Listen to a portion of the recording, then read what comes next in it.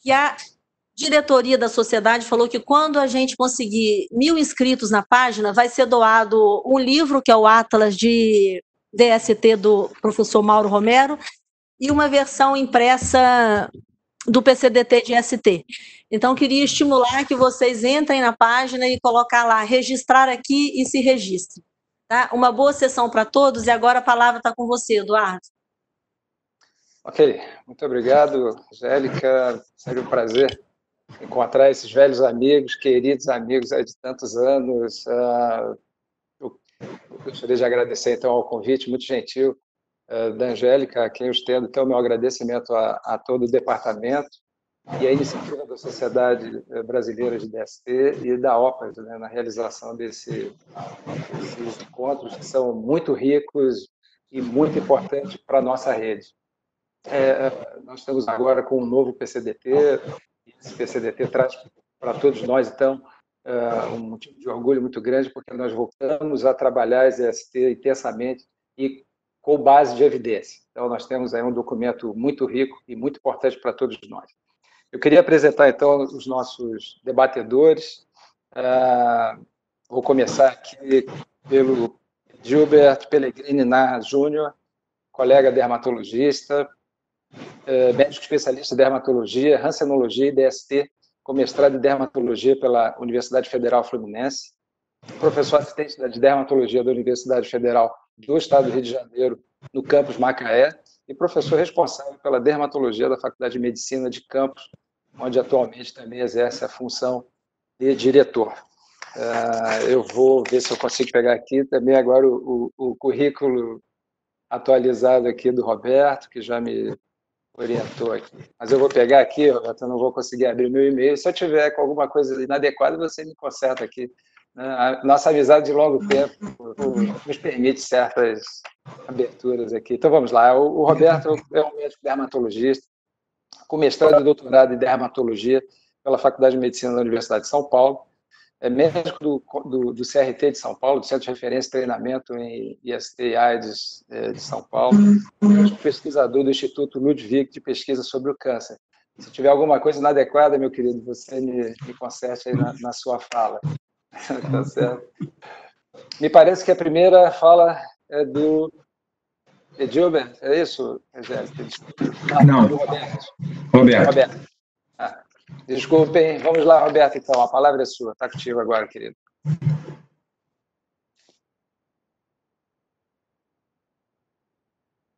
Boa tarde a todos.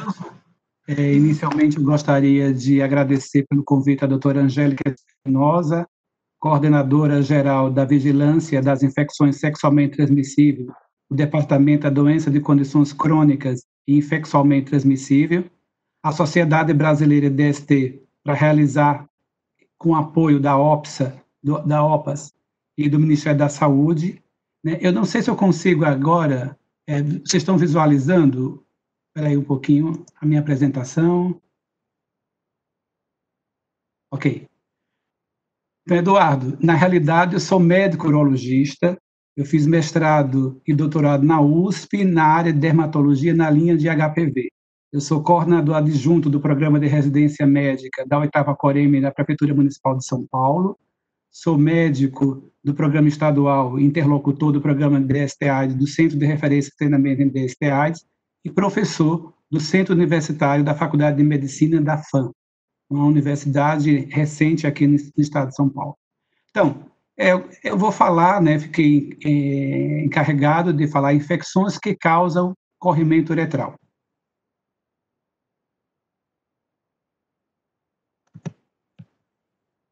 Ah, ah eu não estou conseguindo passar, deixa eu ver. Estão vendo a imagem? Não, tô, ah, não tenho nenhum conflito de interesse, já entendi como é que tem que mexer nisso aqui. Desculpa aí a dificuldade, a idade. Conflito de interesse eu não tenho nenhum. Como no Brasil a gente não tem dados epidemiológicos, né, em relação aos casos de gonorreia e de sífilis, eu vou pegar alguns dados epidemiológicos dos Estados Unidos como fonte o CDC. Então, se vocês observarem esse gráfico, é uma série histórica de 1941 a 2018, mostrando as taxas de casos de gonorreia por ano nos Estados Unidos. a gente observa que em 2018 foram registrados 583.405 casos de gonorreia nos Estados Unidos. Isso leva a uma taxa de detecção de casos aproximadamente a 180 por 100 mil habitantes. E em 2017 para 2018, houve um aumento da taxa de detecção de gonorreia em torno de 5%. Opa, é muito rápido. Então, nesse outro gráfico, mostra a taxa de detecção de gonorreia nos Estados Unidos, uma série histórica que vai de 2009 a 2018, mostrando que há uma taxa de detecção maior nos homens, em que esse aumento em 2017 foi em torno de 6%, em comparação com as mulheres, a taxa de detecção nessas mulheres foi em torno de 3,6%. Se a gente observar a série histórica de 2009 a 2018 e 2014 até 2018, houve um aumento da taxa de detecção nos homens em torno de 79%. Já entre as mulheres, essa taxa de detecção foi para 45%. Aqui mostrando as taxas de casos de gonorreia nos Estados Unidos, segundo a faixa etária e sexo em 2018. Observe que continua ainda atingindo os indivíduos mais jovens, adolescentes e adultos jovens. E observe que as mulheres, a faixa etária de maior é, frequência é em torno de 15 a 19 anos e de 20 a 24, 24 anos. Já nos homens, a taxa de detecção de casos, a faixa etária é de 20 a 24 anos e de 25 a 29 anos. Aqui, essa série histórica dos taxas agora de casos de clamídia nos Estados Unidos. Observem que, de 2000 a 2018, o total de registros de casos de clamídia é em torno de 1 milhão 758 mil casos. Aproximadamente há uma taxa de detecção por 540 por 100 mil. Se observarem as mulheres, tem uma, uma, uma frequência de registro de 1 milhão 145 mil e 63 casos de clamídia nas mulheres. Isso leva a uma taxa de detecção de casos em torno de 693 por 100 mil. Já os homens, em maior número de registro, em torno de 610 mil, tendo uma taxa de detecção em torno de 380 por 100 mil. Em relação à faixa etária e a sexo no ano de 2018, Observe que 97% dos casos é, de clamídia nas mulheres, a faixa etária que compreende maior frequência, em torno de 15 a 19 anos, e de 20 a 24 anos.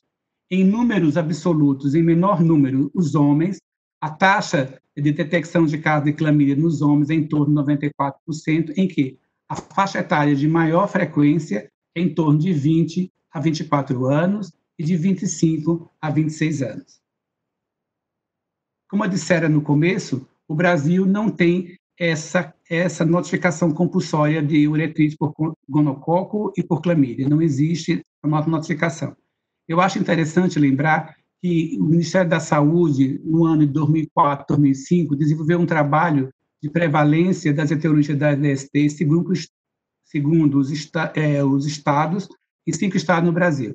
E a gente tem um estudo de prevalência no qual a população geral, considerada como mulheres saudáveis, as gestantes, a prevalência de gonorreia é em torno de 1,5% e de clamídia 9,4%. Já os homens considerados normais eram aqueles industriários e que a prevalência de gonorreia é em torno de 0,9% e a clamídia em torno de 3,4%. Já na população vulneráveis, aquelas aquelas voluntárias da pesquisa que foram encontradas na clínica de DST, as mulheres vulneráveis consideradas é, com gonorreia prevalência de 3,3% e a clamídia 7,3%. Já os homens vulneráveis em torno de 18,5% e a clamídia 3,5%. Esse, esse dado é interessante porque serve como base para os próximos estudos, caso haja o departamento queira né, desenvolver alguma pesquisa a, nível de populacional, já que esse é um estudo de proximidade com relação a populações. E vendo nisso, quais seriam os fatores de risco para as uretrites? Né? A gente classe, tem um, fator de risco a idade jovem, na faixa etária de 20 a 35 anos, número de parceiros sexuais em termos de multiplicidade de parceiros, antecedente de DST, raça cor afrodescendente, homem que faz sexo com homem e usuário de droga.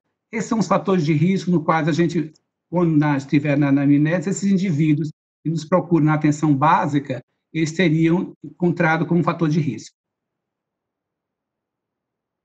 Para identificar as causas das uretrites, eu vou é, as causas da uretrite podem ser de origem bacteriana, viral, fungo, protozoários e outros.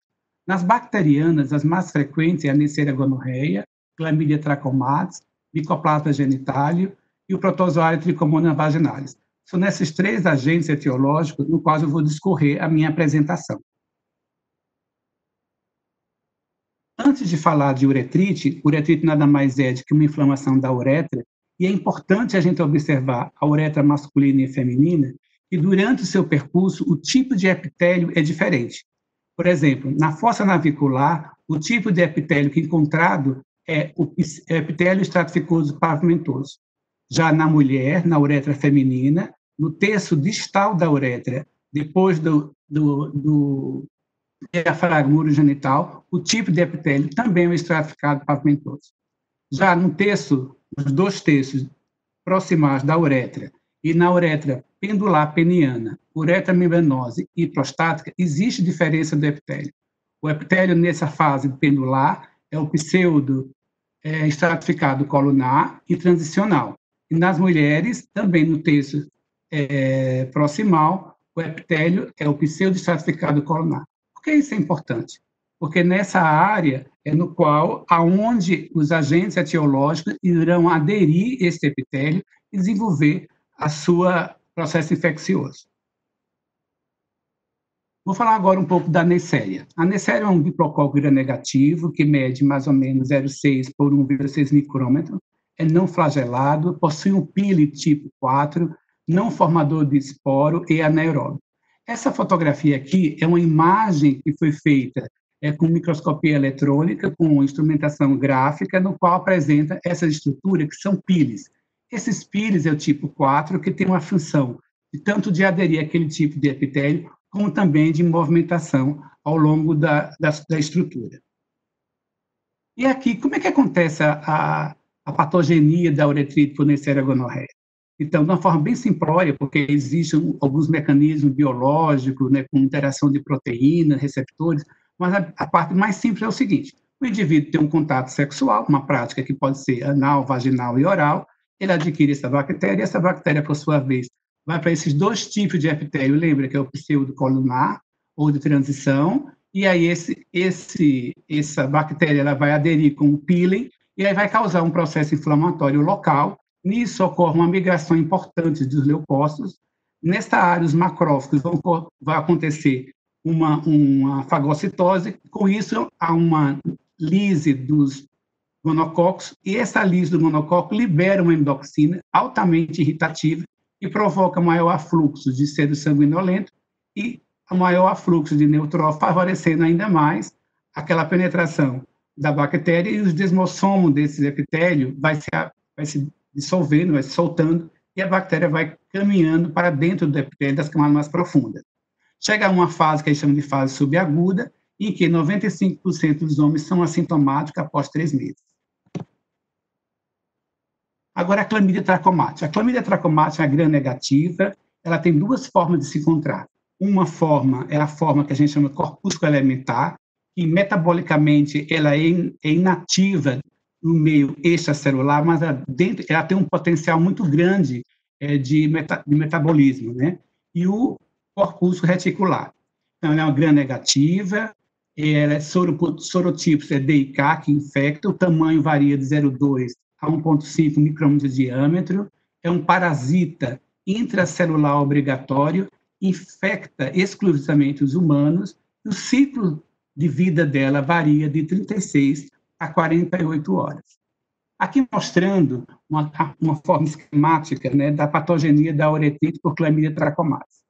É interessante que esse corpus elementar foi adquirido através de uma prática sexual desprotegida, né? lembrar, sexo oral, sexo vaginal, sexo anal, no qual essa bactéria entra em contato com a, a superfície e é um processo de transição de um ligamento, de ligação trimolecular desta dessa partícula, né, desse corpúsculo elementar, faz uma aderência e essa aderência, por sua vez, faz com que ocorra uma endocitose, né, um engolfamento desse corpúsculo.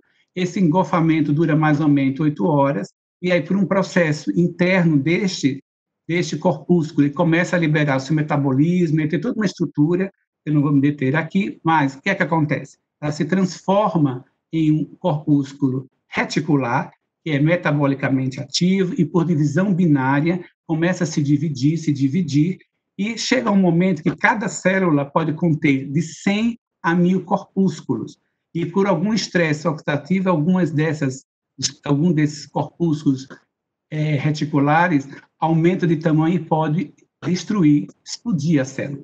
O processo todo dura mais ou menos umas 20 horas a 48 horas. Micoplasma genitália. O micoplasma genitália é uma, é uma, uma pequena bactéria, um procariota. Ela foi inicialmente isolada pela primeira vez em uretrites em homens. Né? Ele tem umas 580 kilobases de genes. Ele é um gram negativo, é formado de garrafa, lembra uma pera, alta replicação, tem altas taxas de mutação, ela é exigente no crescimento, e o crescimento dela é lenta, e tem uma proteína muito importante na sua estrutura, é a proteína de adesão, é o MGPA. Aqui mostrando, né? Opa, opa. Aconteceu aqui, peraí, peraí, está passando rápido. Está vendo aqui mostrando o micoplasma, né? Com micro, microscopia eletrônica. E como é que acontece a patogenicidade da uretite por micoplasma genital? Então, existem três fases, né? Uma de adesão, no qual a adesina, que são duas proteínas MP, MGPA e a P32, e uma proteína acessória que ela serve para manter o esqueleto, o citoesqueleto. A segunda fase é a segunda fase da evasão do sistema imune do hospedeiro. É interessante porque ela tem uma plasticidade fenotípica e ela faz uma variação antigênica dos componentes da sua superfície e o sistema imune não consegue debelar. Ocorre uma, também uma imitação, ela consegue imitar os antígenos do hospedeiro, então ela consegue evadir-se, ela também sobrevive nos fagócitos dos neutrófilos. A terceira, a terceira fase, no caso, é a localização intracelular do micoplasma genital. Então, essa adesão ocorre rapidamente, depois de uma hora, quando ela é invaginada, ela é coberta por uma camada de platrina, e aí, depois de 12 horas, existe um grande número de vapor contendo esse micoplasma, e com 96 horas ocorre uma lise dessa célula infectada. Veja bem, o período desse, dessa infecção do micoplasma é bem, é bem alargado se a gente for comparar com a clamídia trachomatis. E aqui mostrando né, uma microscopia eletrônica, mostrando é, a clamídia, a clamídia não, o micoplasma fazendo aderência, e aqui mostrando uma célula de vero, com, isso aqui in vitro, né, mostrando através da microscopia eletrônica várias micoplasmas. É muito pequenininho o micoplasma. Né? Vamos lá, próximo. A, a outra não é uma bactéria, né? Na realidade, é um parasita, um protozoário, que é o Trichomonas vaginalis. Ele mede aproximadamente 10 a 7 micrômetros. Existem três espécies que infectam o homem, mas só a vaginalis é que causa a doença. Observe que ela tem esses flagelos, né? É, uma, é um parasita que tem uma prevalência de 12% da população masculina, 18% na uretrite junto com gonocócica, é isolado em 14% dos parceiros de mulheres infectadas, e veja como as mulheres sofrem quando os homens são infectados, em torno de 67% a 100% das parceiras de homens infectados. E na grande maioria dos homens são assintomáticas e ocorre por espontâneo. É, frequentemente, esses tricomônios estão na face interna do prepúcio e que durante o ato sexual é carregado para dentro da vagina, para o ânus, né, que é mais difícil de encontrar no ânus, mas na vagina, e é, a gente sabe que o tricomonas fora do meio, na urina, ele dura mais ou menos umas é, é, três horas, e dentro, é, no esperma, mais ou menos umas seis horas. Então, a gonorreia, o período de incubação é em torno de 24 a 6 dias. Né? É interessante porque, por meio de um contato sexual, qual é o período de incubação que eu vou ter? De 24 a 6 horas, é, 24 a 6 dias, desculpa. E o risco de infecção, no primeiro contato com a mulher infectada, a probabilidade vai de 17% a 20%, e após quatro coitos, em torno de 80%. Do homem infectado para a mulher, essa taxa aumenta para de 80% a 90%. Já a clamídia, em torno, período de incubação é mais prolongado, em torno de 14 a 21 dias, e o contato com a parceria portadora de cervicite, a probabilidade é de 50%, e o por contato sexual é 20%, clamídia. No caso do micoplasma genitário, permanece indefinido. Por ser uma bactéria que tem um processo de divisão é, muito longo, parece que é parecido com o da clamídia trachomatis. Então, a incubação varia de 4 a 60 dias, mas pode ser maior. O risco de infecção não existe por meio de modelos matemáticos, mas percebe-se que 70% de mulheres com parceiros estão infectados com o micoplasma. Já o tricomonas vaginalis, o período de incubação é de 5 a 28 dias, o risco de infecção é de 22 a 72% dos homens com parceiros infectados, como eu disse no começo, né? E como é que a gente faz a propedêutica com vista ao diagnóstico das ESTs? Inicialmente, a gente tem que incorporar na anamnese uma boa história sexual, né? número de parcerias sexuais, é, se, uso, se usou preservativo, se usou algum, durante a prática sexual algum quimissexo, alguma, alguma droga, o tipo de prática, se foi oral, se foi anal, se foi vaginal, é, quais foram as práticas que ele, que ele tivera, quais foram a prevenção que ele teve com essas práticas, e se ele procurou o serviço com planejamento familiar, investigar é, a possibilidade de ter alguma IST, e, e se tem história de passado de DST. Investigar fatores de risco acrescido, examinar o corpo inteiro, os órgãos genitais, inclusive é, exame especular caso a pessoa tenha habilidade, e no serviço que tem a possibilidade de fazer uma, um toque retal ou fazer uma anoscopia, né, uma, é interessante naqueles casos em que os indivíduos procuram por, ser, por alguma queixa de prática anal insertiva ou receptiva, aliás, receptiva, aconselhar para prevenir as reinfecções e buscar as parcerias sexuais de risco, coletar material biológico para exames, isto é, se na atenção básica, se tiver disponível, prescrever medicações padronizadas e vacinas, caso sejam indicadas, notificar para fins de vigilância epidemiológica aqueles agravos que no nosso país é de notificação compulsória. Qual é o quadro clínico né, da, do corrimento uretral? Né? Ele tem, apresenta os sinais sintomas. Os sintomas principais é o prurido, estrangúria, polaciúria, odofétida e disúria. O sinal importante é o corrimento uretral. O aspecto desse corrimento ele pode ser purulento como coide, pode ser de grande quantidade, de média quantidade ou pouca quantidade. O aspecto purulento, 75% dos casos, é causado por uretrite gonocócica. Já nos casos da uretrite não gonocócica, esse aspecto purulento vai de 11 a 33%.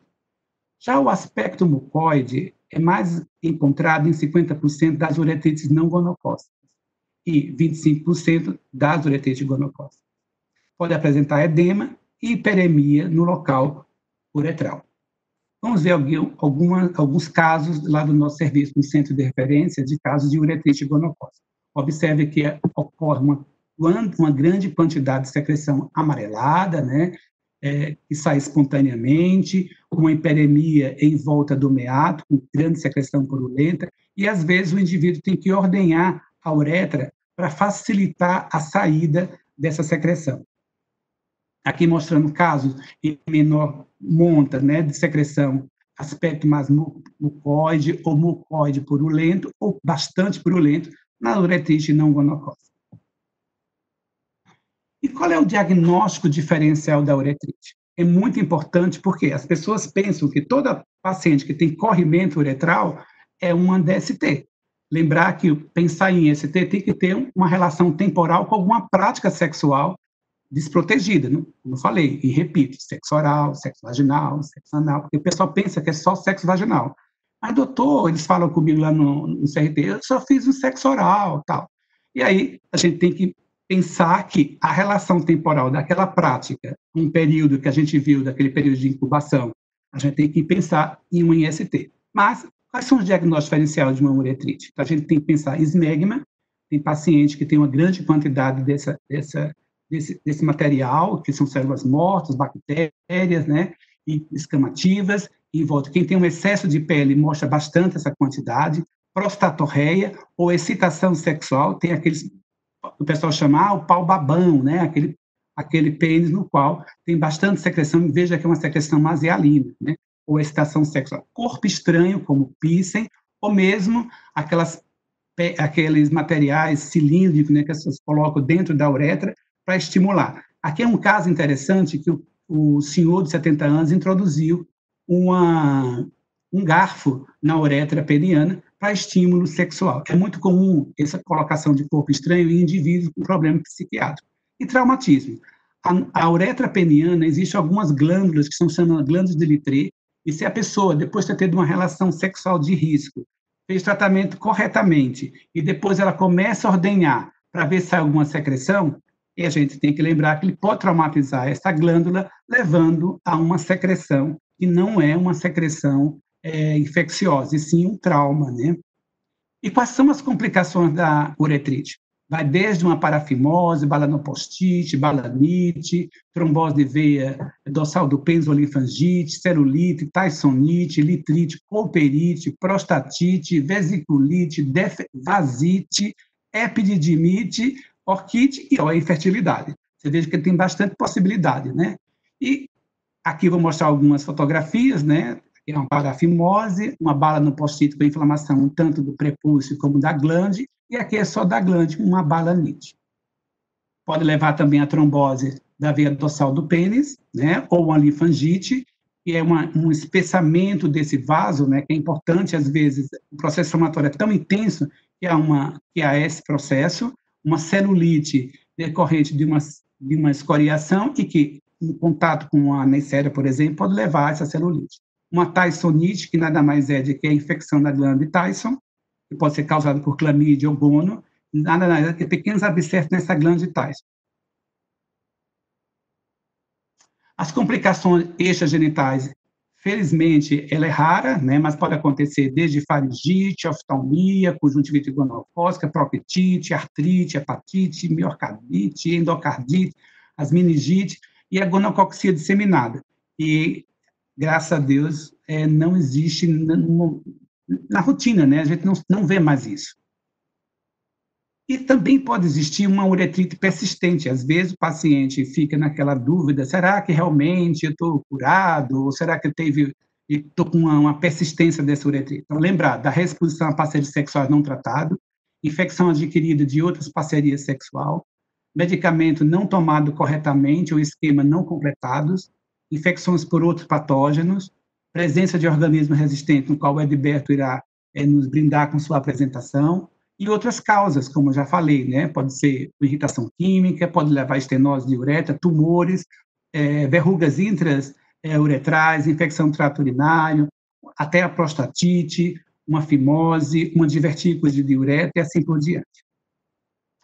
O diagnóstico que a gente faz, o diagnóstico que eu vou falar aqui para vocês, na realidade, é só em relação a Neisseria gonorreia, né? Porque é fácil ser feito o diagnóstico naquele serviço no qual tem um, um laboratório, ou que tem um laboratório perto. A gente pode fazer o diagnóstico por bacterioscopia pelo método de Gram, em que na uretra a sensibilidade e a especificidade é muito alta para esse, esse diagnóstico. A cervical em torno de 65% a 45%, né, a sensibilidade, e a retal a sensibilidade é um pouco menor, em torno de 40% a 60%. E a cultura, que é importante, para a gente é, fazer o diagnóstico de realmente é, que tipo de neisseria, e a sensibilidade desse método é em torno de 85% a 98%.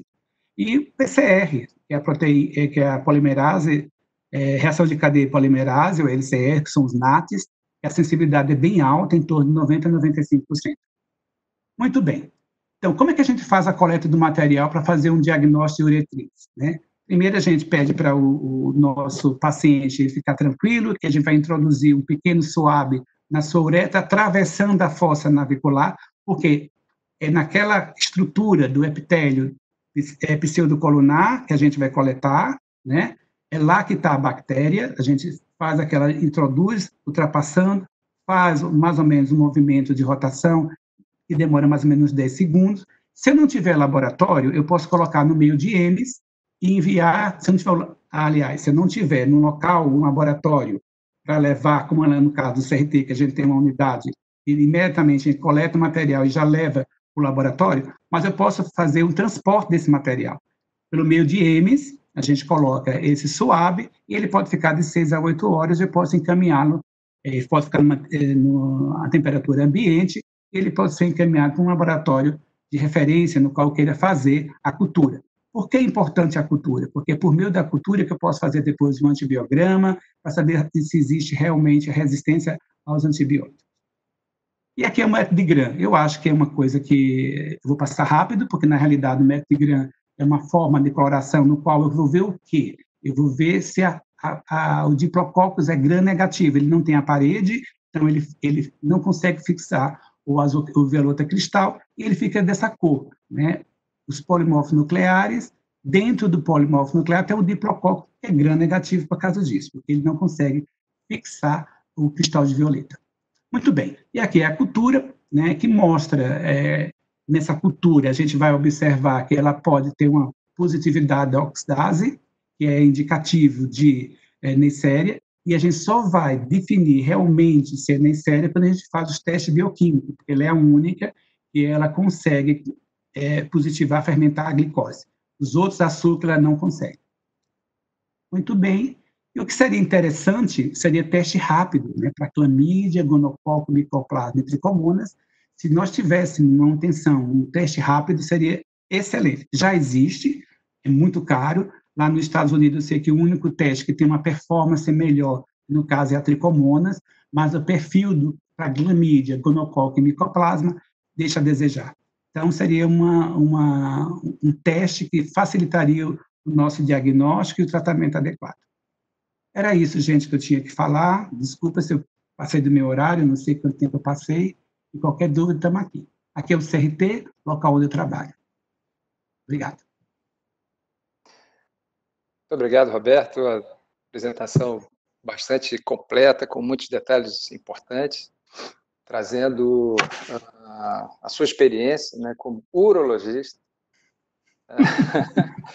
como veterano urologista, é, e a, a, importância de nós podermos contar com a disponibilidade né, de métodos laboratoriais que possam nos auxiliar no diagnóstico, porque muitas vezes o aspecto clínico e a experiência do profissional podem não ser suficientes para que nós tenhamos um efetivo tratamento do paciente. Né? Ele poderá retornar depois ao serviço sintomático, se não for o tratamento adequado. Muito bem, é, obrigado pela, pela sua apresentação, muito, muito legal.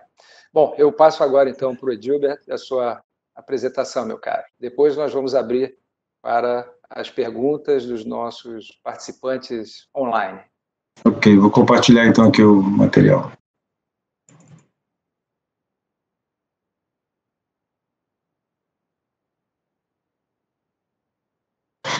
Tudo certo, tá, Eduardo? Está sendo.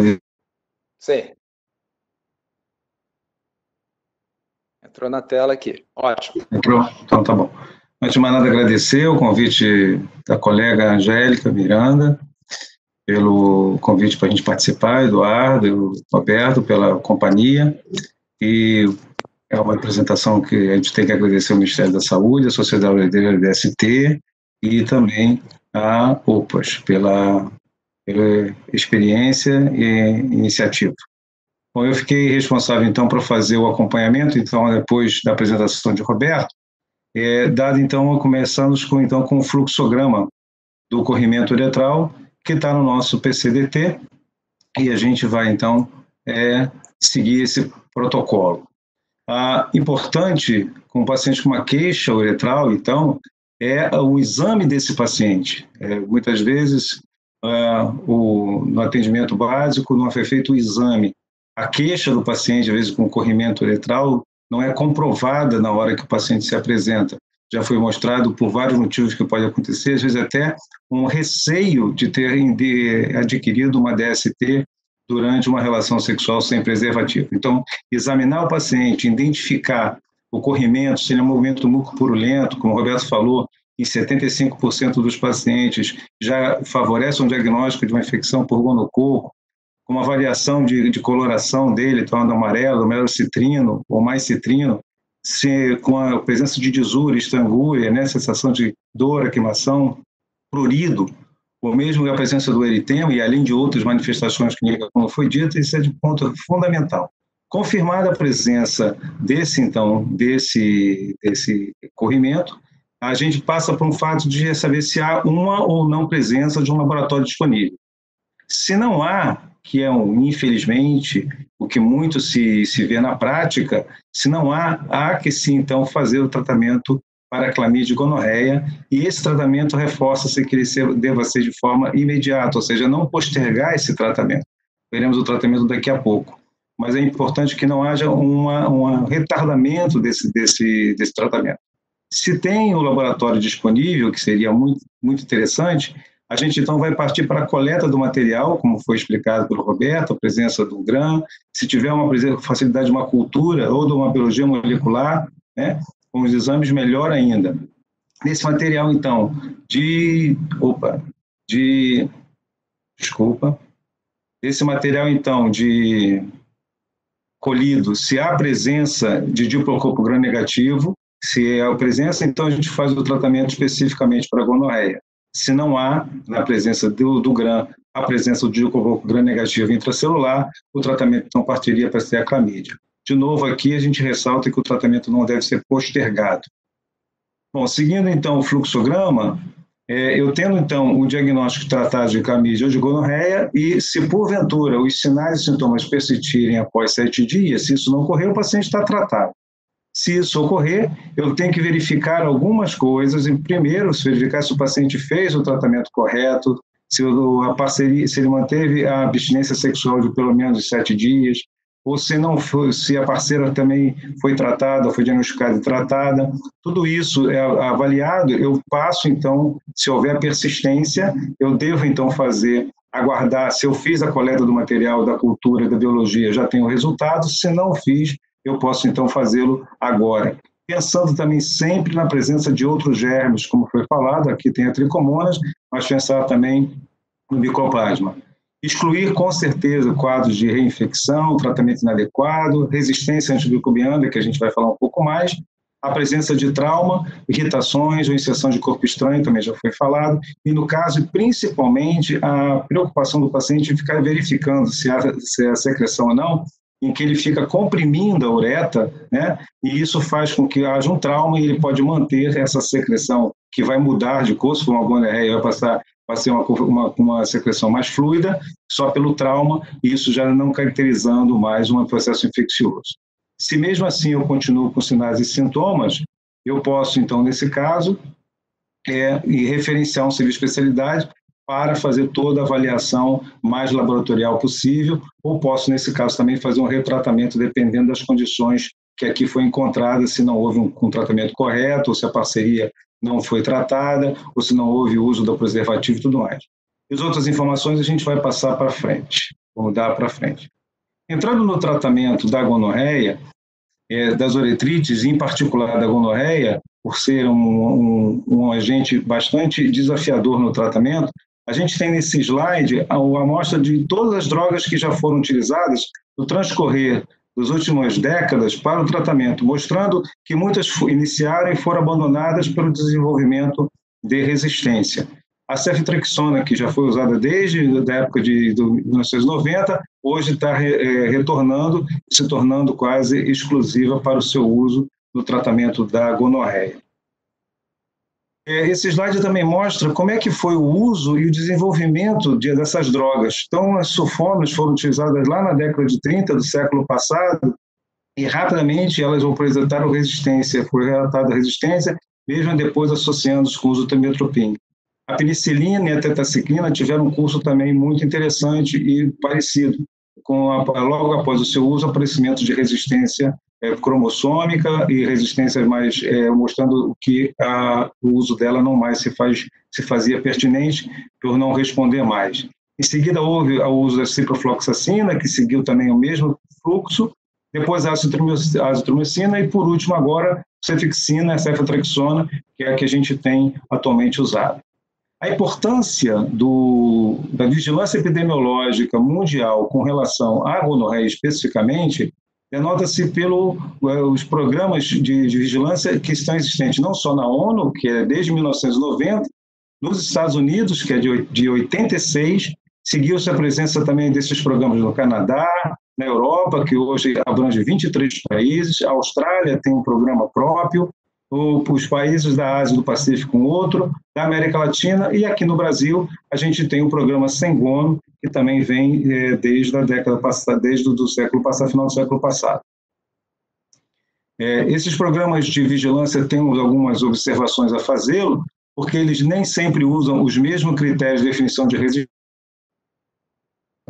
valores diferentes de resistência, como a gente pode ver, mostrando diferentes resistência para, por exemplo, no caso da Unicéria, para na Europa de 53%, e você vai ver em outros grupos para 36%, uma variação muito grande de, de, de resistência a esse medicamento, tanto pelo uso de critérios diferentes, quanto pela amostragem também que se dá. O importante é que esse processo de resistência bacteriana, que a microbiana que a, a Neisseria gonorreia apresenta, é um fenômeno mundial e um desafio para todo o tratamento dela. Deixa eu seguir aqui. Isso. Aí a gente tem um slide mostrando o percentual de casos de Neisseria gonorreia isolados com menor sensibilidade ou resistência. Alguns países em branco, aqueles que não, mostraram, não, não deram seus, seus dados, não têm dados confiáveis, mas mostra-se com uma variação muito grande por todo o mundo. E importante na Ásia, mostrando uma resistência muito alta em referência a outros países. E as variações variam de países para países. Esse fato também já aconteceu com relação à ciprofloxacina e à azitromicina, mostrando como é essa distribuição dessa resistência que a gonorreia apresenta em todo o mundo, é, como um grande desafio no seu tratamento e na sua cura. Bom, retornando aqui ao Brasil, a gente tem um trabalho do projeto Sengono, de, que ocorreu de 2015 a 2017, onde com 550 cepas foram isoladas, verificou abrangendo para todas as regiões do Brasil, sete capitais. Esse trabalho, então, mostrou é, o dado nacional,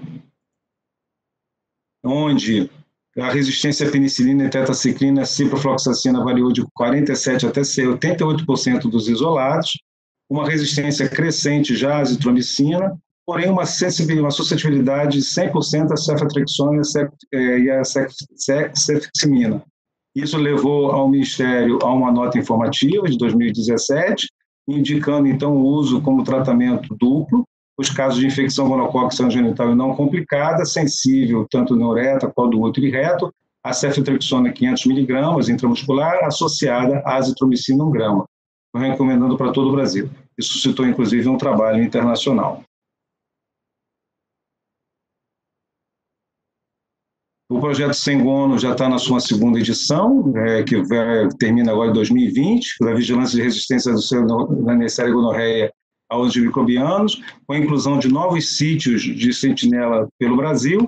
Além disso, além de continuar a pesquisa para Neisseria gonorreia, clamídia, microplasma e tricomonas, e abrange também agora a etiologia das úlceras genitais por biologia molecular em três dos sítios já existentes. Então, identificando a biologia molecular do herpes, hemófilos, triponemas, é, para então ter um padrão nacional é, mais fidedigno.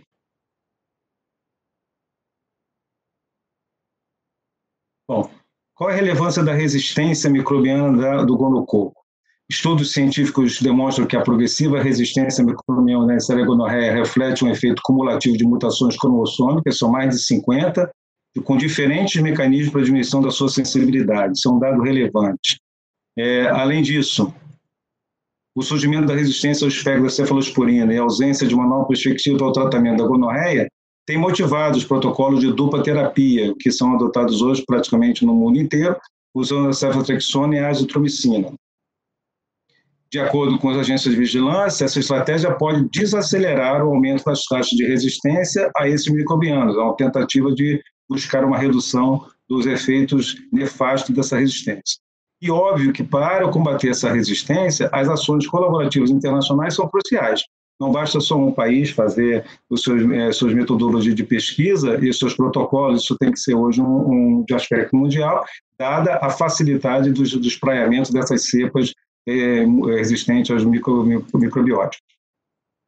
Aqui a gente tem um trabalho que foi feito em Belo Horizonte, com 201 cepas da Neisseria, que ocorreu em 2011, 2012, mostrando o grau de resistência para o clorofenicol, para a penicilina, para a tetraciclina, para a expectomicina, e conduzindo todas essas drogas é, a resistência, mostrando a resistência, fato esse que todas elas estão acima de 5%, o que não permite o uso desses antibióticos, antibióticos no tratamento da gonorreia, de acordo com a Organização Mundial de Saúde e o CDC.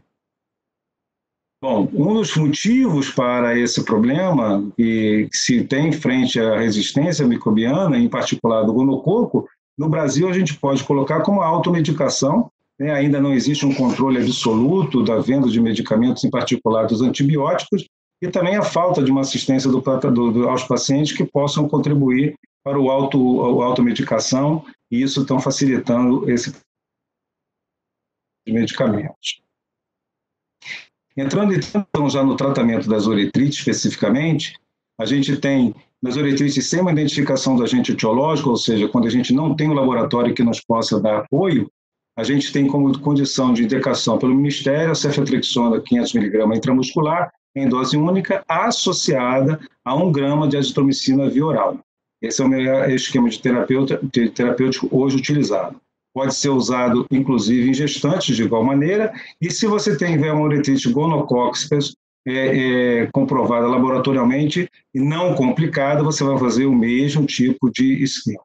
É importante no esquema alternativo, a segunda opção, a quem não puder fazer uso da azitromicina, a doxiciclina ela não pode ser usada em gestantes.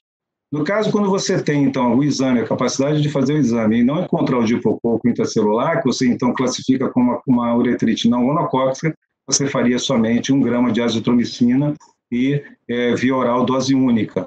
Se for uma, uma por clamídia, né, comprovadamente por clamídia, o mesmo esquema terapêutico da azitromicina, e os esquemas de retratamento, eles a priori, eles repetem a ceftriaxona na mesma dose, porém dobram o, o uso da azitromicina de 1 para 2 gramas em via oral dose única. Lembrando sempre que no retratamento a gente tem que afastar todas aquelas possibilidades que já foram abordadas, se houve o afastamento das relações sexuais, se a parceria foi examinada, tratada, se houve diagnóstico, se houve, houve é, outras relações suspeitas, se existem outras condições que possam favorecer também a persistência da sintomatologia. No caso das uretrites por microplasma, azitromicina é a mesma dose, então se você não tiver laboratório, a azitromicina vai estar pegando tanto a clamídia quanto o micoplasma. E no caso do tricomonas, você faria então o metronidazol, 500 miligramas, é, via oral duas vezes ao dia por sete dias, é um tratamento mais, mais extenso. E, no caso de infecções disseminadas, você faria então a ceftriaxona intramuscular ou intravenosa ao dia, completando pelo menos sete dias de tratamento com a azitromicina. As outras formas de, de, de infecções gonocóxicas é, é, como sendo faringe, a comprometimento da faringe, do reto, também é, respondem muito bem esse esquema de tratamento que foi preconizado. O problema maior é a dificuldade do diagnóstico do comprometimento da, da, faringe, da faringe, seja pelo gonococo, seja por outras cepas. Os tratamentos internacionais, os protocolos internacionais, eles seguem mais ou menos o que é preconizado no Brasil, eventualmente com uma dose de 500 miligramas da, da ceftriaxona. É, é, os Estados Unidos mantém no seu CDT a dose 250, já o Canadá também 250, o Brasil aqui esse dado é de 2015, então houve uma mudança, porque aqui se usava ainda cipro, hoje se usa a ciprofloxacina, a ceftriaxona em lugar da ciprofloxacina. Na Austrália, a gente tem tratamentos com 500 ou 250. E se a gente vai discutir um pouco esse tratamento, se a gente vai ler o, o, no CDT, a gente encontra que no CDT não tem, desde 2015 foi o último, nenhum dado clínico existente para apoiar o uso da dose da ceftriaxona maior que 250. A gente vai deixar esse, esse ponto para discussão depois, junto com a, com a Pamela, para discutir por que, que no Brasil, então, a gente optou por fazer 500 miligramas. Uma das possibilidades seja a própria dispensação, a presença do, do, do, do do antibiótico a nível para venda, a nível de hoje já tem a prescrição de 500. Até pouco tempo atrás só tinha-se de um grama.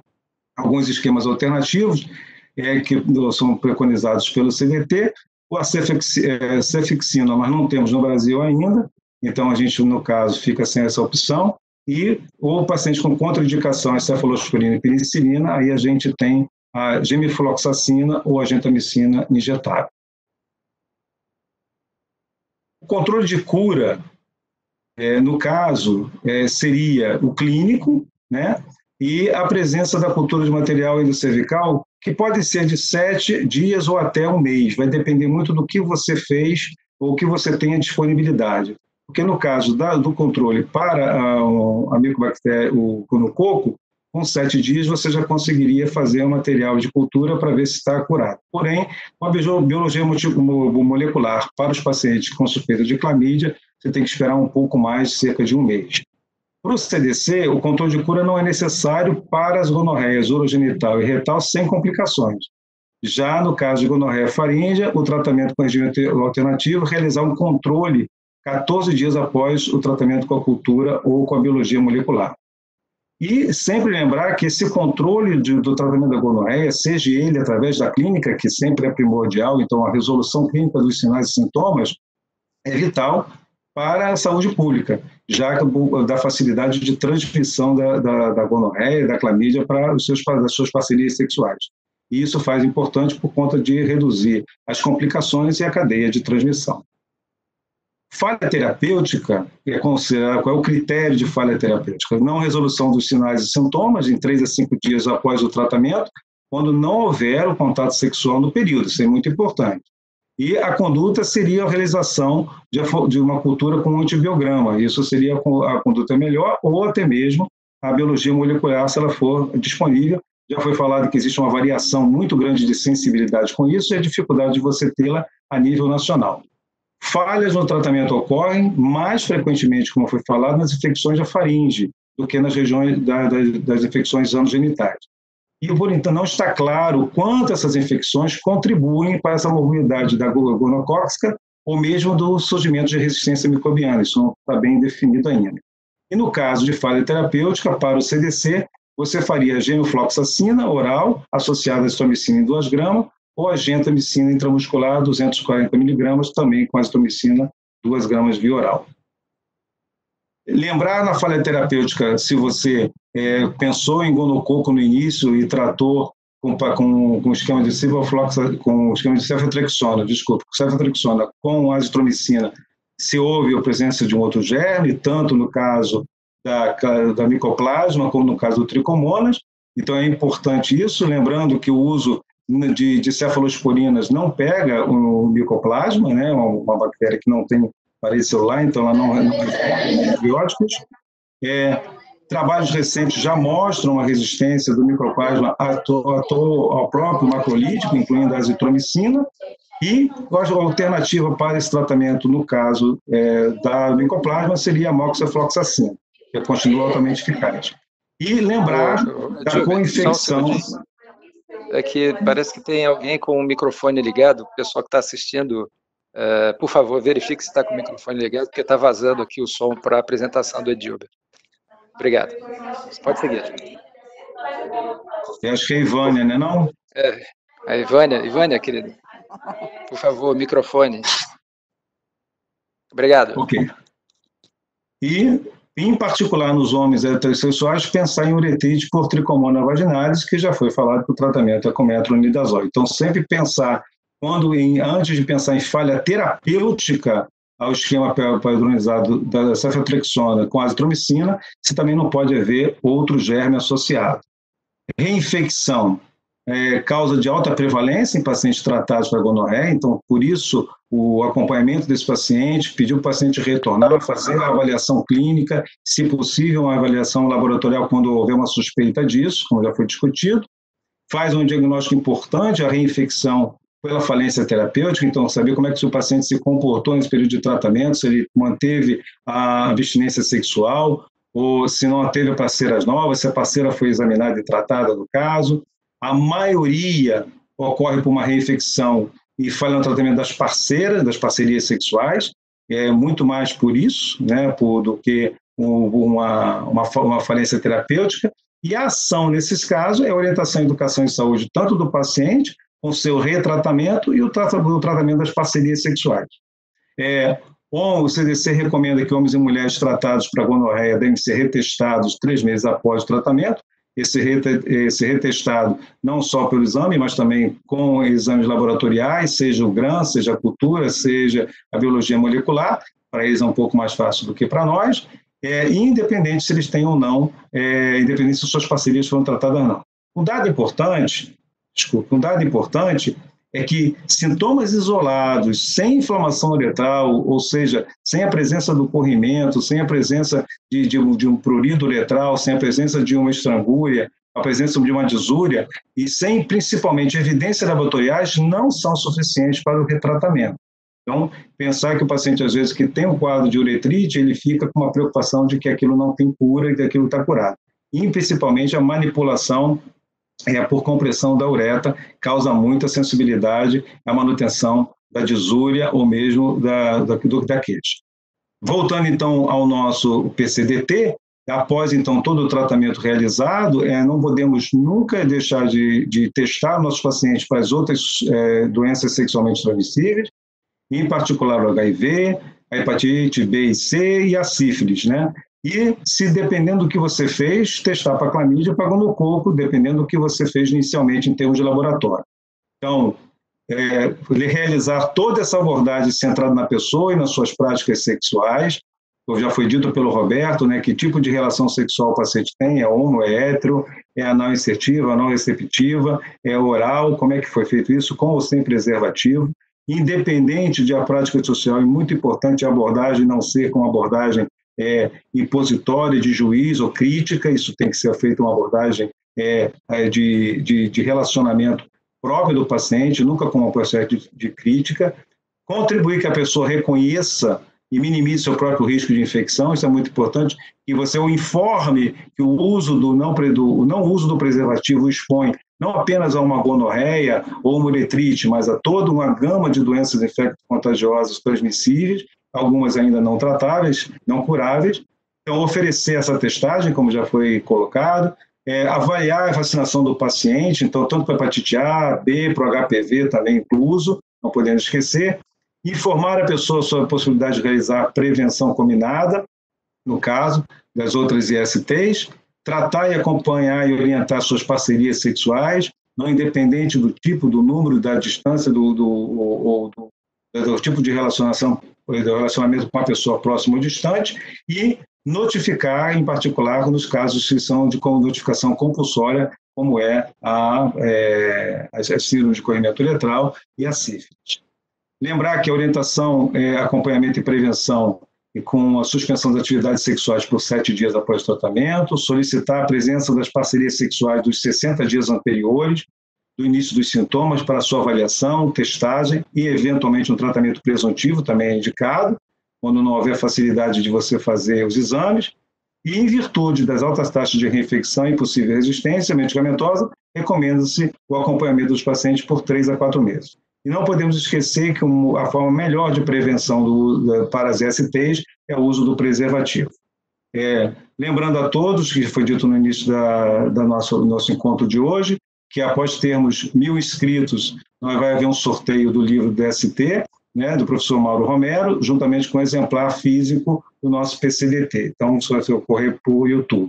E no mais, é agradecer de novo e para todos se inscreverem no canal DSB DST, onde tem todas as palestras que foram realizadas desde o dia, desde o do maio passado, desde o dia 20 de, de maio, 13 de maio do mês, do mês passado. Agradeço a oportunidade e, e agradeço de novo. Muito bem, muito obrigado, Dilma. A apresentação bastante completa, também trazendo atualizações importantes do nosso PCDT e dados da literatura internacional, assim como o Roberto trazendo resultados de alguns trabalhos feitos uh, e, e, guidelines publicados em, em, outros países, países do primeiro mundo, e que não diferem muito do, das nossas condutas aqui no Brasil. Deixa eu ver se eu libero aqui a minha imagem também, que agora está liberado. Espera aí. Uh, uma, uma pequena observação, o Mauro Romero chamou a atenção aqui no nosso chat. É, em determinado momento, o Roberto disse que não havia dados sobre sífilis, na verdade, ele queria falar dados sobre clamídia. Acho que a sífilis não sai da nossa cabeça. Então, você pode ter confundido na hora ali, em vez de falar clamídia, você, falta de dados sobre clamídia. De fato, o Brasil tem poucos dados sobre as IST de uma maneira geral. Fala, não Roberto. Entendi, Eduardo o Mauro Romero levou, chamou a atenção aqui que, em determinado momento da sua apresentação, você é, fez uma referência que apresentaria dados internacionais dos Estados Unidos e tal, porque faltariam dados mais atualizados brasileiros. É, e talvez não fosse sífilis. Você falou sífilis, mas não seria sífilis. Não, eu acho que. Deve ter havido alguma pequena confusão. É. A gente pensa sifiliticamente. Sifiliticamente, exatamente. mas, o, o, o, de qualquer forma, eu chamo a atenção de alguns pontos que foram apresentados aqui agora pelo Gilbert, a importância do, do, trabalho com as parcerias sexuais, da avaliação completa desse paciente, da relação empática né, entre o profissional de saúde e o paciente, para que não haja julgamentos de valor, não se colocar como juiz frente a casos de DST, suspeitos de IST, eh, nós podemos perder eh, toda a, a estrutura né, de, de, de, de, eh, desse contato com o paciente, de tratar, de ter um tratamento completo adequado desse paciente, perder esse paciente para um balcão de farmácia, por exemplo, por ter um julgamento em, em relação ao, ao, quadro que ele apresenta. É, um ponto importante também trazido, a questão da resistência bacteriana, nós temos aí esse drama agora atualmente em relação ao gonococo, uma, um nível de resistência crescente, já temos aí um longo histórico de resistência bacteriana a vários antibióticos que nós perdemos ao longo do caminho, no controle da, da, da gonorreia em relação ao desenvolvimento dessa resistência, geralmente baseado por é, transmitida por plasmídia, alterações cromossômicas também, uh, e isso facilmente transmitido. Né? O gonococo se multiplica numa velocidade extremamente rápida e a transmissão desses plasmídios é muito efetiva. Bom, eu, nós temos aqui algumas perguntas que eu gostaria então de, de trazer aqui ao, aos colegas. É, um, duas das primeiras perguntas foram feitas antes mesmo de começar nosso, nossa, nosso vídeo aqui, foram feitas pela Rafaela é, Lopes da Bahia e Alana Pedro, que tem a ver com a questão da enfermagem. Né? Por exemplo, é, o que os colegas acham a respeito do papel do profissional da enfermagem, do enfermeiro, é, adequadamente capacitado dentro é, do, das ações de controle das DST, das, das IST, é, da possibilidade da abordagem do enfermeiro na, sobre casos sobre, é, a respeito das IST, no, dentro de uma, de uma estrutura da nossa rede de saúde, o papel do enfermeiro. E também é, uma pergunta mais específica da, da, da, Rafaela, que é se não há um protocolo de enfermagem daquele município, é, se os colegas consideram que esse profissional, mesmo capacitado, ele tem possibilidade de atender casos de IST. Essa seria uma primeira rodada de perguntas para vocês. Quem tiver mais à vontade para responder. Eu posso falar, aqui em São Paulo, lá no Centro de Referência e Treinamento em DSTA, a gente fez um protocolo, né, que é de acordo com o Ministério da Saúde, foi pedido uma, uma avaliação do Conselho Regional da Enfermagem, e eles claros, se você tem um protocolo institucionalizado, com regras claras e treinamento específico, você pode sim fazer o atendimento de enfermagem é, voltado para a IST. Então, vai depender do serviço onde a pessoa trabalha, né? E ela pode sim desenvolver uma atividade de enfermagem voltada para DST. Eu acho que a gente tem que quebrar com essa hegemonia médica, né? Dizer que só o médico tem que atender IST e tratar DST. Um bom enfermeiro treinado com um protocolo adequado, ele poderá sim desenvolver atividades é, da enfermagem no combate da IST. Não sei se eu fui claro. Bastante claro, isso a gente já vem trabalhando há muitos anos. Né? Na minha experiência também, onde os serviços que contam com esse suporte, com esse apoio do profissional de enfermagem atendendo os pacientes, os resultados são muito bons. É, eu acho que da mesma, da mesma forma que existem outros programas, né, no caso da Rancenias, onde eu tenho bastante experiência é, com o, os protocolos e a, a, o exame e acompanhamento por parte da enfermagem, eu não vejo nenhum problema. É, seguindo o que o Roberto falou, eu acho que sim, o enfermeiro sendo é, capacitado, sendo treinado e seguindo os protocolos, eu acho que isso não vem para só vem a somar no combate a esses quadros de, de infecção, que muitas vezes, como você falou, a gente não pode perder para o balconista da farmácia a oportunidade de diagnosticar e tratar de forma correta. Isso ainda é uma realidade para todas as especialidades, dermatologia então sofre muito com isso, mas, é, e particularmente no caso das doenças sexualmente transmissíveis, dado ao risco do contágio através das relações sexuais, num paciente que possa ter uma dificuldade de testar com o médico, se eu estiver num programa, não vejo nenhum problema. Perfeito. Eu, eu gostaria Opa, de. É, desculpa, eu gostaria de colocar uma coisa que eu, que eu fico incomodado um pouco com esse fluxograma, esse manejo do Ministério da Saúde. Eu não sei se tem mais alguma pergunta, mas o fluxograma, sim, sim. ele me, de, ele me deixa assim, um pouco... perguntas, mas vamos é, lá. Mas é interessante porque o fluxograma, na hora que a gente faz uma bacterioscopia pelo método de Gram, se ter diplococos positivo, a gente só trataria é, gonorreia, né? No caso, a gente trataria com ceftriaxona e azitromicina. Lembrar que se eu estou tratando também com azitromicina, eu já estou também tratando a clamídia e o micoplasma, né? Então, eu acho assim que o outro fluxograma no qual a gente, quando colocava, é que já tratava esses dois agentes, eu acho que fica mais tranquilo. Eu não sei como é que o Ministério da Saúde ele, ele repõe, ele, ele se reorganizou esse fluxograma, mas os fluxogramas anteriores, quando a gente tinha, né, hipococo gram negativo, positivo, a gente trata gonorreia e clamídia. Se não tem, só, só clamídia. E aí depois teve, ele, ele foi destrinchando, né? E eu, eu queria assim uma posição. Eu acho que cria uma certa uma certa dificuldade, porque se ele tratou, ele volta e aí vai tratar de novo com azitromicina, eu queria que tivesse uma discussão sobre isso, né? Ou já, já tentaria com gentamicina? O que é que Edberto acha? Vamos fazer uma polêmica. Vamos lá. Pois é. É, realmente, quando você vai fazer, se você já vai fazer o tratamento duplo, né, com a azitromicina e a CIP, você já está tratando até o micoplasma também junto e a clamídia.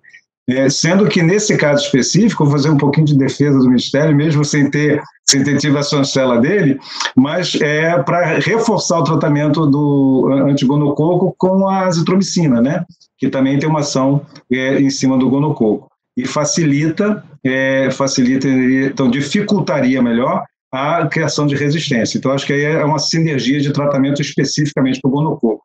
Mas é, a Pâmela está lá para debater conosco né? Isso e o tratamento com 250 ou 500 miligramas, que quando a gente foi fazer a revisão, a gente ficou assim, encontrando essa surpresa. Eu queria também ouvir a Pâmela sobre isso. Ok. É, nós tínhamos é, determinado esse tipo de, de debate. É, se a Pamela preferir falar agora, porque eu ainda tenho mais pelo menos umas duas ou três perguntas para apresentar para vocês. Quer comentar agora, Pamela? Pode o, ser, Eduardo. O próprio, o próprio, professor Mauro Romero já havia também colocado essa, essa bola quicando aqui na área. Pode ser sim. Você está me ouvindo bem? Sim, perfeito. Ah, então gostaria de dar boa tarde a todos.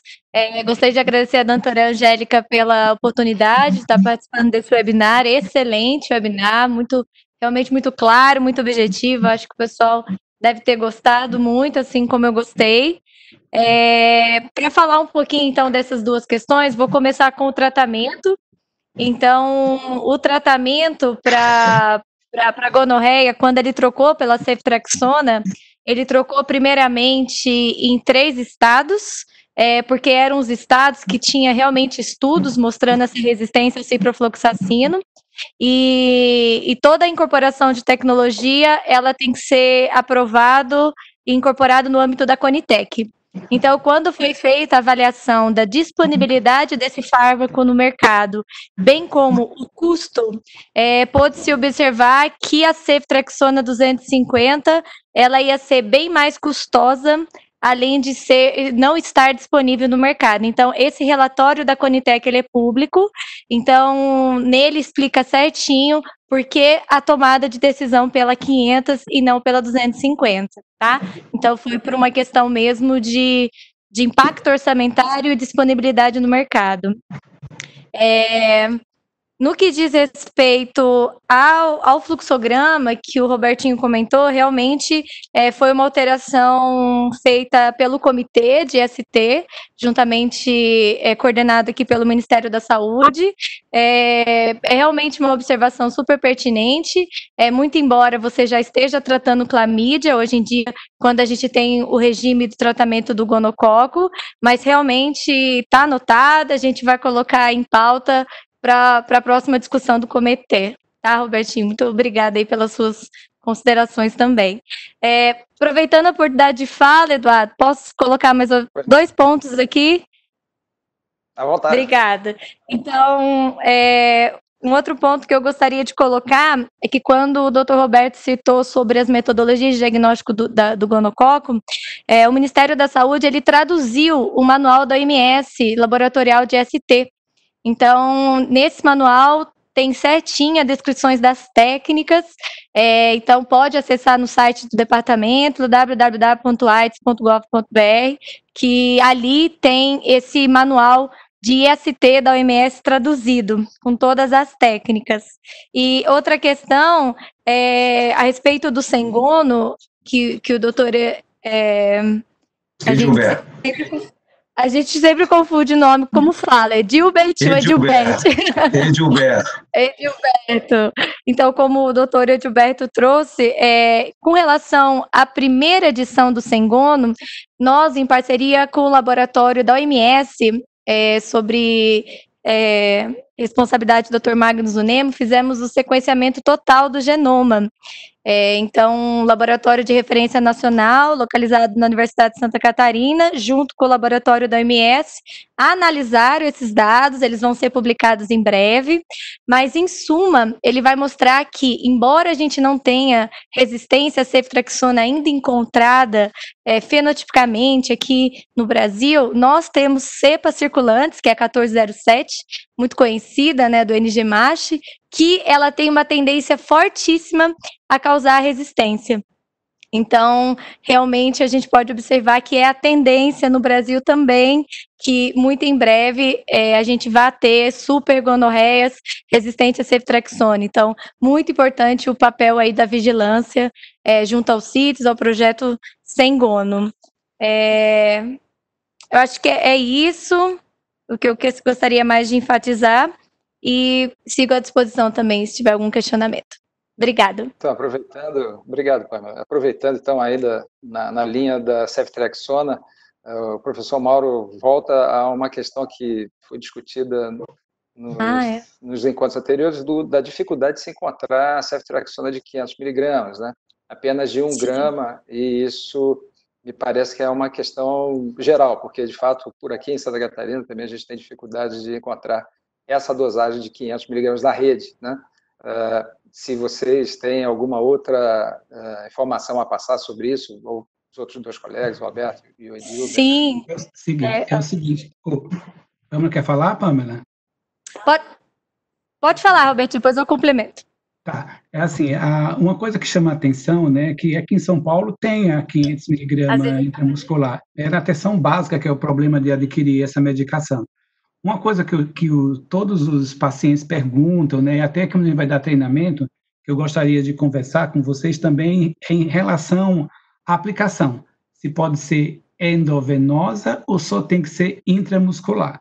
Eu fiz um levantamento bibliográfico e o único artigo que eu encontrei foi russo, em que eles observaram que fizeram um N muito pequeno, 17 casos de uretrite por Neisseria gonorreia, e que eles usaram é, um grama de ceftriaxona endovenosa. 100% dos casos foram curados. Eu não sei como é que é isso, mas eu, como era em russo, eu não consegui ler, só li só o abstrato. Então, eu gostaria, assim, primeiro, em São Paulo, o estado de São Paulo, nas farmácias existe sim, mas o problema maior é a atenção básica, que tem esse insumo, e esse endovenoso, intramuscular, só para poder uhum. mexer um pouco com o grupo. Pode falar também. Pamela. Oi. Vou, vou só vou comentar a questão do 1 grama, né? A, a gente não tem ainda nenhuma atualização, mas esperamos ter em breve. Então, a gente realizou o levantamento junto à Anvisa de todas as indústrias que produzem ceftriaxona no Brasil. É, fizemos isso em 2017, na época eram realmente só três empresas. É, vamos ver se isso mudou. Então a gente vai entrar em contato e em breve a gente publica uma nota informativa sobre a atualização da disponibilização desse insumo de 500 é, no mercado. Sobre a, a, a intravenosa, eu vou passar para o doutor Edilbert. O que a gente tem do intravenoso de um grama é mais para os quadros sistêmicos, né? No caso de goxiria septicemia sistêmica, comprometimento mais generalizado, aí você tem o uso endovenoso. Realmente, é, até a facilidade de você fazer intramuscular do que o endovenoso, para os casos de uretrite não complicada, eu acho que é, nem justificaria a gente fazer o endovenoso, né? Pela facilidade do intramuscular. É, e atualmente não há nenhum protocolo, né, é, que utiliza não. intravenoso, né, nenhum. É, todos, todos os protocolos internacionais é intramuscular. É, eu, eu, até por não ter aqui a, a, apresentação para a injeção intramuscular de 500, eu tenho feito em dois serviços onde eu trabalho, mas são serviços que funcionam como hospital dia, é, então é, é, muito fácil fazer venoso. É, eu faço o tratamento já é, sindrômico com a ceftriaxona venosa é, em dose de 1 grama e azitromicina por via oral, já pego na farmácia, o paciente já toma, ele já sai tratado de lá.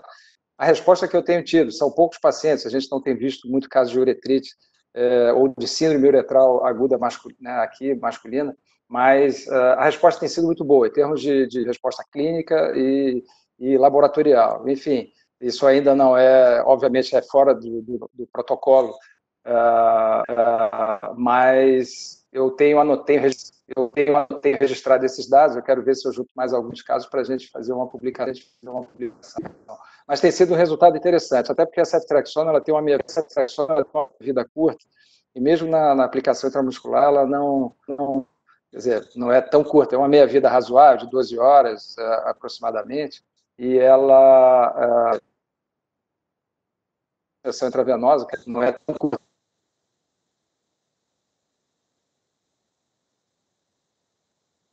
coisa tem funcionado aparentemente, pelo menos na minha experiência, que é, é pequena ainda, é, de forma bastante satisfatória.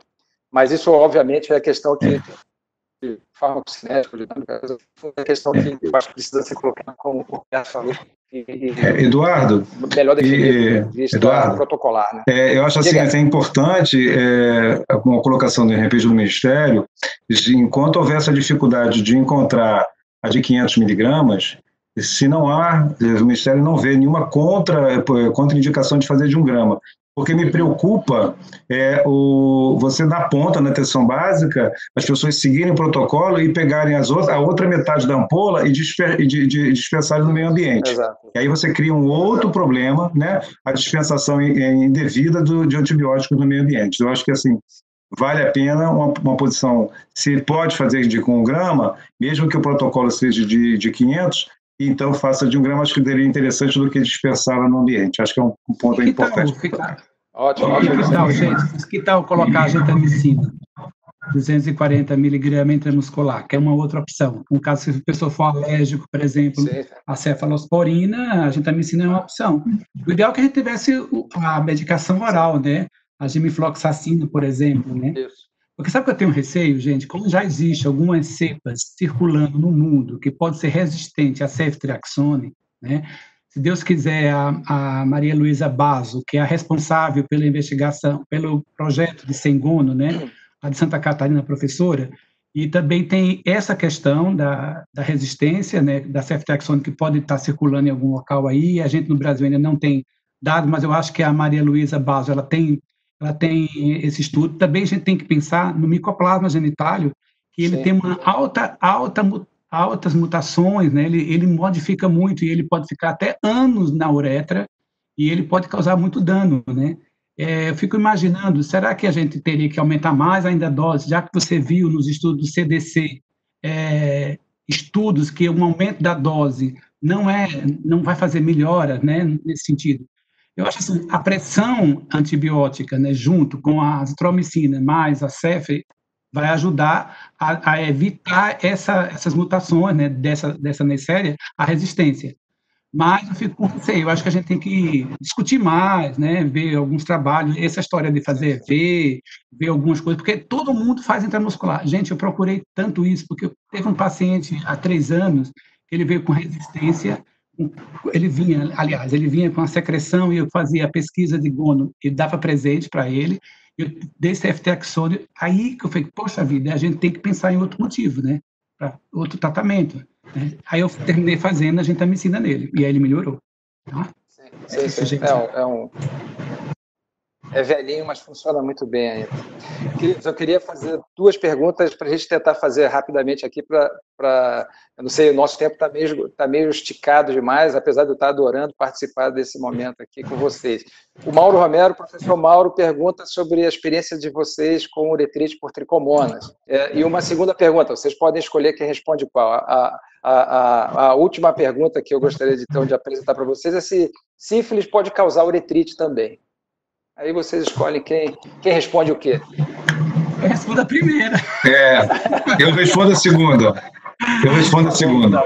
É o, que, é o seguinte, né? Tricomona vaginalis, né? Eu estou vendo assim que eu no CRT estou há mais de, não vou nem falar o tempo, mas eu raramente estou vendo, né? Eu até vou fazer parte de uma banca é, de, de, dissertação de um pessoal e que eu estou vendo, né? É, é, nem li direito ainda a dissertação da aluna, que está muito interessante, é, com relação, ela fez uma, uma pesquisa fazendo agente etiológico das uretrites. Né? Eu não estou vendo, no momento, na prática diária, né, na minha prática, e lá no CRT a gente faz coleta de material, é a presença de tricomona vaginalis. Porque a gente sabe que no homem, a uretrite, quando é muito discreta, né, ele pode, por si, por si só, eliminar e curar espontaneamente, né? Alguns trabalhos mostram né, que o tricomonam vaginalis tem algumas cepas, tem, alguma, tem alguns parasitas desses que é resistente a metronidazol. Eu não sei se vocês estiveram no, no congresso com o David Lewis, lá de, de, de, de, acho que é da África do Sul, né, que ele, agora já não está mais na África do Sul, tá, deve estar tá na Austrália, não lembro mais, que ele falou né, que existe a possibilidade da resistência ao metronidazol ao, tricom, ao tricomonas. Eu, pessoalmente, eu não vejo uretrite é, por tricomonas na minha prática diária, né?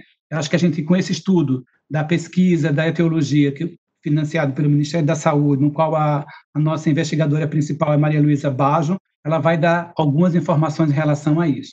Outra coisa que a gente tem que lembrar, eu sei que eu sei que a pergunta não foi essa, mas a gente tem que pensar também nas, na, no herpes simples, né?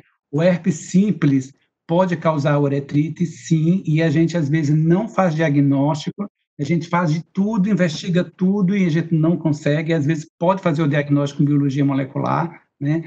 E a gente pode fazer é, outros estudos, né, para identificar melhor isso. Agora, a relação temporal desse agente etiológico para causar uretrite também é discutido em alguns artigos, né? Eu, é, agora, eu não sei te dizer até que ponto a sífilis pode causar uretrite. Qualquer bactéria pode causar uma uretrite, né? Agora, a sífilis, eu não sei. Será que o Edberto vai poder responder? Eu estava pensando aqui no Roberto, estava pensando aqui num cancro intrauretal. Né? E aí, num processo inflamatório que o cancro pudesse causar, ele poderia causar, sim, até mesmo uma secreção pelo, pelo cancro. Essa seria a primeira pensamento que eu faço. Da mesma forma que você lembrou muito bem o herpes. Eu acho que é uma coisa que a gente acabou não falando, né? É, mas é, ele está aí presente e com uma grande é, é prevalência. É, partindo do princípio também de que a sífilis é uma doença sistêmica desde o primeiro momento, nada impede que ela possa é, escolher, o treponema possa escolher um canal uretral para dar um processo inflamatório. Não teria que tentar entender melhor essa fisiopatologia, mas pela própria presença do cancro intrauretal, já que ele pode estar na cola do, eh, na, na cola do útero, na cerviz uterina, e poderia também estar dentro do, do canal uretral. Eu acho que, eu acho que espero que tenha sido isso que o Mauro queira que a gente tenha falado. por definição, né, por definição, uretrite nada mais é do que uma inflamação da uretra frente a uma agressão, que pode isso. ser bacteriana, viral, e aí vai. Exatamente. Perfeito. Então, eu queria, queria agradecer aqui a Mariana Bonetti, do Ceará, que fez a pergunta aqui da sífilis. É, né, causando, podendo causar corrimento. Essa é uma tudo em IST é possível, né? A gente vê cada tudo. coisa do arco da velha, né? até coisas que não são IST que estão lá nos órgãos genitais. Bom, é, nós estamos já chegando então agora ao final da nossa da nossa live. Eu queria agradecer demais a, a participação dos queridos amigos Roberto e Edilber, da, a, a nossa equipe lá no departamento, Angélica e Pâmela. Muito obrigado pela oportunidade de estar aqui com todos vocês e a todos os participantes que estão aí né, em, todo o Brasil e até fora do Brasil participando dessas, dessas lives aqui organizadas pelo nosso departamento. Uh, aquelas pessoas que, que enviaram perguntas e que não as tiveram diretamente respondidas, não se preocupe que vocês vão, vão recebê-las depois é, nos seus e-mails, né, de forma adequada. Os nossos, nossos participantes aqui responderão. Eu agradeço, então, mais uma vez a todos vocês e até a próxima semana com uma nova live, com um novo assunto. Não deixe de se inscrever no canal do, da SBD e da ST. Muito bem lembrado. Obrigado, então, querido. Então, em nome da doutora Eduardo. Um abraço, muito obrigado. Em nome da doutora Angélica, então, gostaria de agradecer a todos, né? Então, encerrar e lembrar que semana que vem vai ter de úlcera genital. Então, Ótimo. Não percam. tchau, tchau, gente. Boa tarde. Tchau, tchau. Boa tarde. Um abraço. Até logo. Até logo.